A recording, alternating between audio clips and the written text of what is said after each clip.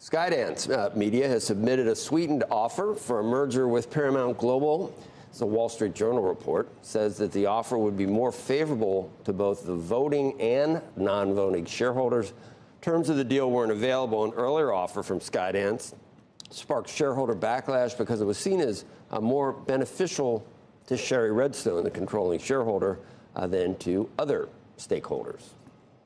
When we come back, we're going to talk about the generational differences in the way people save for retirement. We've got that story for you next. And later, retail shakeout. We'll talk about the big moves in the stocks that reported after the bell yesterday. This has been a very interesting reporting season.